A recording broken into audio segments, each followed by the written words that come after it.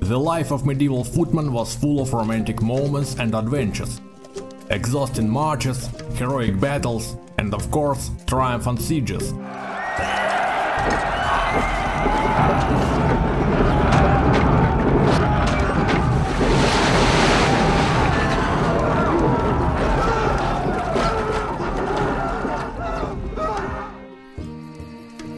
But above all, it also included delicious food. Nutrition was the most important part in life of every soldier. It gave him energy, lifted his morale and granted the warmth in short periods of rest. This is the medieval tactical backpack. Let's open it and take a look at common soldiers' field ration. A carrot this orange stick is full of useful vitamins and minerals, which are so important for every dog of war. It will improve your sight and makes your skin soft and silky. They say that King Henry himself gave the triple portion of this healthy vegetable to all his archers before the Battle of Agincourt. A garlic powerful medicine, spice and perfume all in one.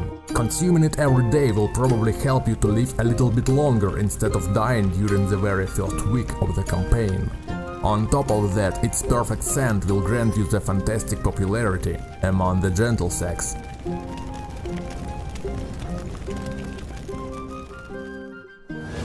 Corned meat An exquisite meal of champions. It's like wine, the older the better.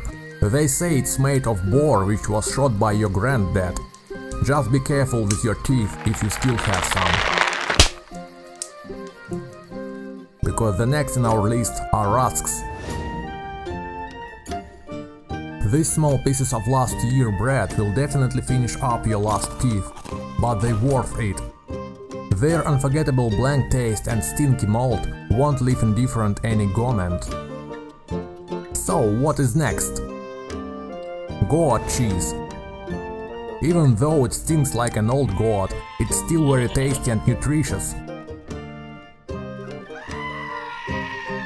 It will grant you tons of energy and allow you to scream soldier songs all day long.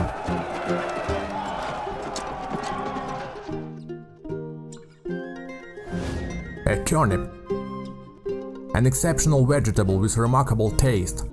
You can gobble it raw, or put it into your week old porridge which wasn't finished by mice yet. This vegetable will move your dish's taste to a new level. The last important thing for every soldier is a wine skin. Despite the fact it's filled with the cheapest wine of all and some vagabond sold it to you, the main thing that it can save your life.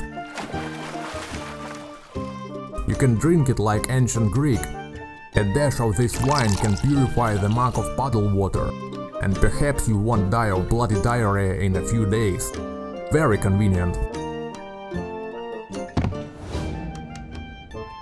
So it was a field ration of medieval infantry. The list could be much longer, but I tried to collect the most common food of that period. Hope you enjoyed the video, thank you.